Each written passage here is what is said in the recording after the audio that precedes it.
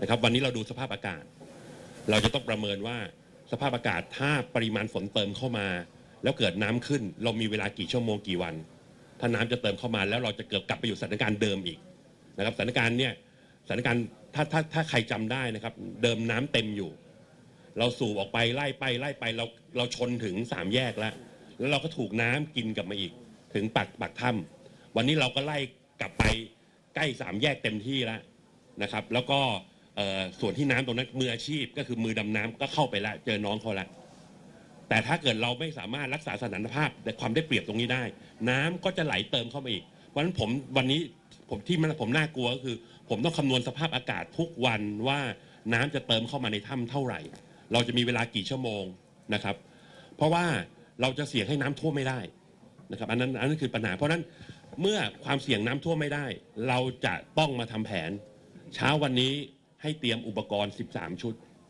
เดี๋ยวไป checklist วางไว้ จริงๆ SEAL เตรียมหมดแล้วกับทีมแพทย์เตรียมหมดแล้วว่าถ้าจะต้องออกมาในสภาพที่ความพร้อมไม่ร้อยเปอร์เซ็นต์นะครับเราไม่พูดถึงความพร้อมร้อยเปอร์เซ็นต์นะความพร้อมร้อยเปอร์เซ็นต์คือสูบน้ำในระดับที่ทุกคนสบายใจแล้วก็ออกมาได้เลย อันนั้นอันนั้นไม่พูด แต่ความไม่ผมให้ประเมินสถานการณ์คนที่ปฏิบัติไม่ว่าจะเป็นหมอหรือซิลหรือใครก็ตามที่เป็นคนปฏิบัติการที่จะนำน้องเขาออกมา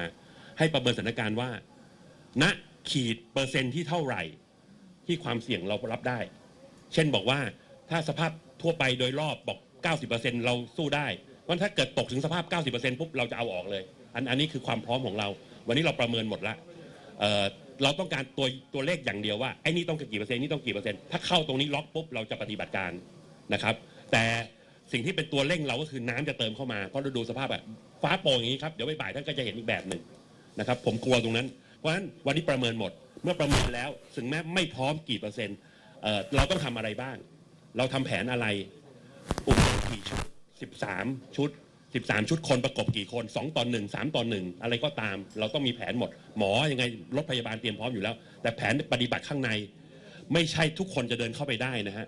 รูช่องเล็กมาก คานเข้าก็ไม่ได้อะไรก็ไม่ได้อันนั้นมันมันมันเยอะแยะตรงนั้นเพราะฉะนั้นตอนนี้เราทำแผนตรงนี้ทั้งหมดเพื่อให้เราทำงานตรงนี้ได้นะครับ แล้วเดี๋ยวเราจะเช็คลิสต์ทั้งหมดแล้วเราจะได้ประเมินความพร้อมตรงนี้ ก็ขอความกรุณาว่าเอ่อมันข่าวสารอาจจะไม่มีอัปเดตอะไรมากมาย เพราะว่ากลับเข้าออก 11 ชั่วโมงนะครับอันนี้ยืนยันเพราะว่าเข้าออกสองครั้งแล้วมันเสียเวลาไปวันกว่ามันตรงนี้เรายืนยันว่า 11 ชั่วโมงเป็นตัวเลขที่เอ่อเป็นเฉลี่ยของเราในการดำเนินการ